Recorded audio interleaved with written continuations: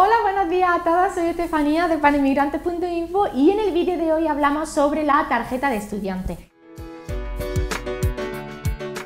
Ya sabéis que a día de hoy España se ha convertido en un buen destino por su catálogo de formación, por sus centros formativos, por sus universidades, por su seguridad a la hora de estar en España, se ha convertido en un destino perfecto para aquellos estudiantes extracomunitarios que quieren venir a formarse o completar sus estudios a España.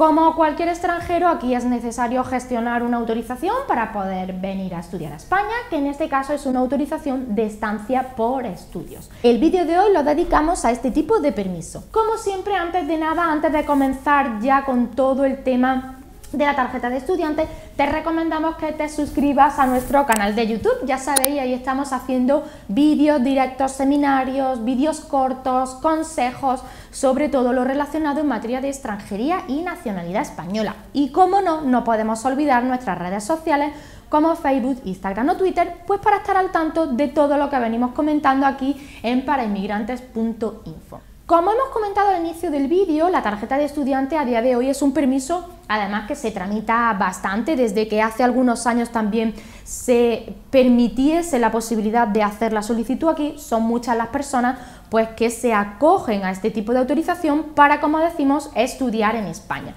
El vídeo de hoy va dedicado a la matrícula, ya sabéis que uno de los pilares fundamentales para poder pedir esta autorización en España es tener una matrícula de haber sido admitido en un centro formativo en España para hacer una formación concreta.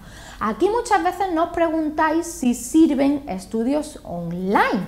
En este caso, no, es muy importante que la matrícula, la mayor parte de esa formación sea de forma presencial, sea de forma física, eh, digamos el mecanismo a través del cual nosotros vamos a adquirir esa formación. Si aportamos una matrícula de unos estudios online, esa autorización de estancia por estudios tanto si la solicitas aquí en España como si la solicitas a través del consulado, será denegado. ¿Por qué? Porque en este caso, si es una formación online, la vas a poder hacer desde tu país y no requieres estar en España para poder acceder a esa formación. Por lo tanto, esas matrículas de formación online no nos sirven para conseguir en España una autorización de estancia por estudios. Aquí, como decimos, es muy importante que junto con el resto de documentación aportes una matrícula de tus estudios formativos de grado medio, de grado superior, de idiomas, si estás haciendo una carrera universitaria, si estás haciendo un máster, si estás haciendo un doctorado,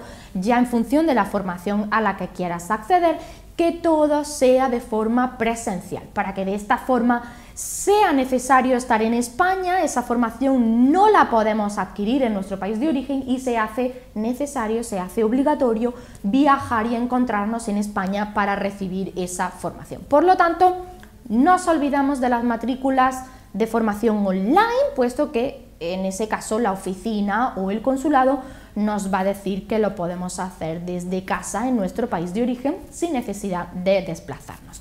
Espero que este vídeo os haya sido de ayuda. Ya sabéis que en, Para Inmigrantes llevamos muchísimos años gestionando este tipo de tarjetas, este tipo de permisos. Si tienes alguna duda, puedes dejarnos un comentario, hacer una consulta por Skype o llamarnos a nuestro teléfono de asesoría que estaremos encantados de poder ayudarte.